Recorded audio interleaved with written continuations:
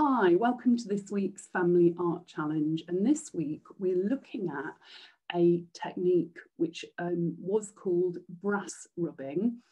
Um, we won't have any historic medieval brasses in our houses, so we're going to look for exciting and interesting textures.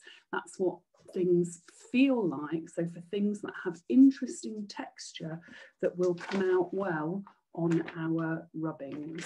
So all the equipment you will need is a sheet of ordinary paper and then an ordinary pencil. If you don't have a pencil, what I found was an old half dried up felt pen worked really well.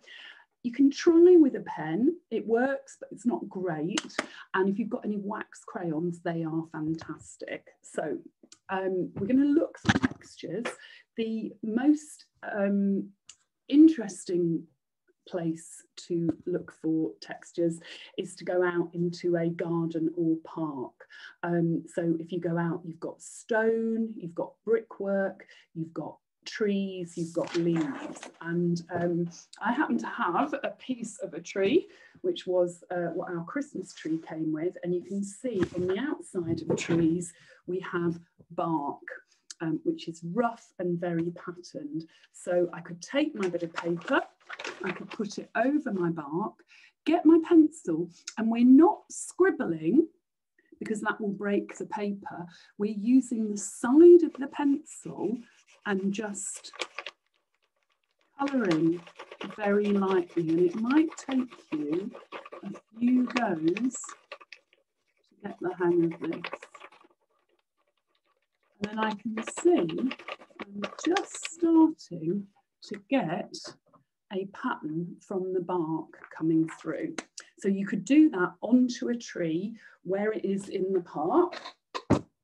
Um, you can also do leaves and the best leaves are quite strong. So um, this is a beautifully shaped leaf, but it's quite soft and floppy, so that won't work very well.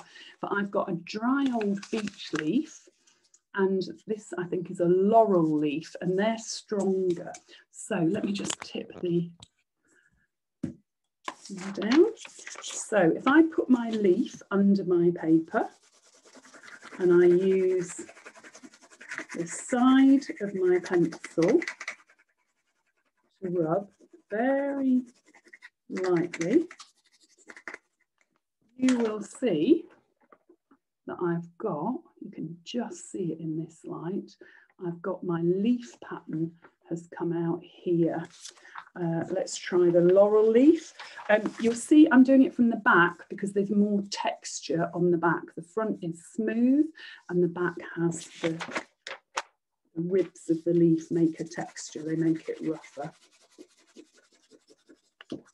So I'm having a go at this leaf. I'm doing it quite quickly because I want to show you quite a few textures but have an experiment because you might find you do it a bit more slowly, and there you can see I have got the shape of my leaf. They don't they don't show up too well on the camera, but in real life, they look really good.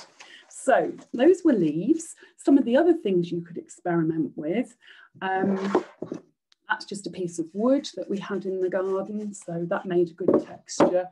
This is a broken tile that's come off an old roof and it's got the name of the manufacturer on the back. That would come up really well as a rubbing. But then I had a look in my house and had a look in the kitchen. So I could do a rubbing on a sieve, lots of different textures on a grater.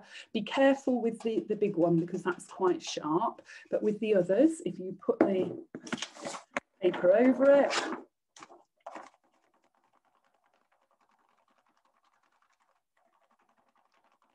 I'm doing a big one and I get a kind of spotty pattern, but let me show you some I did earlier.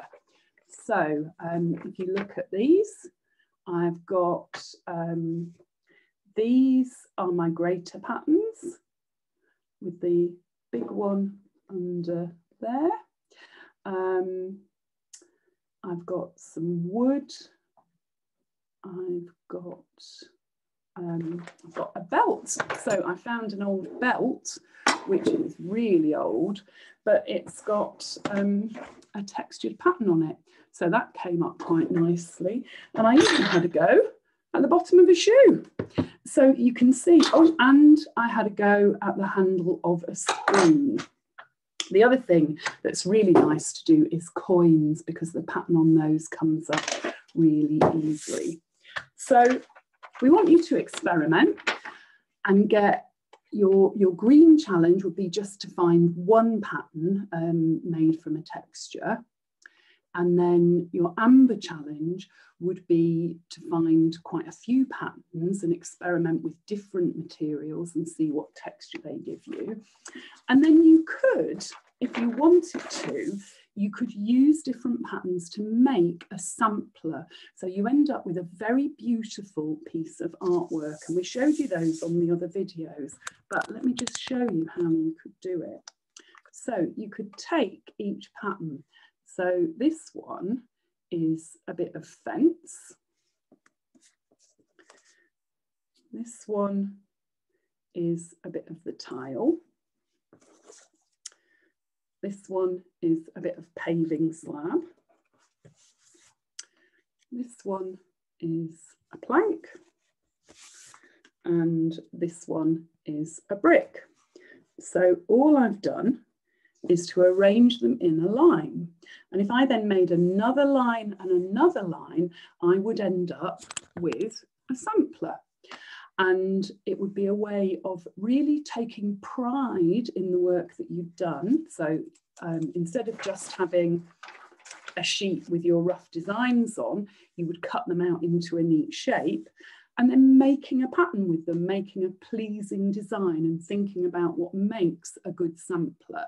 If you had glue, you could stick those down onto a sheet of paper. If you didn't have glue, you could just arrange them on a surface and you could maybe experiment. Do they look better on a dark background or a light background?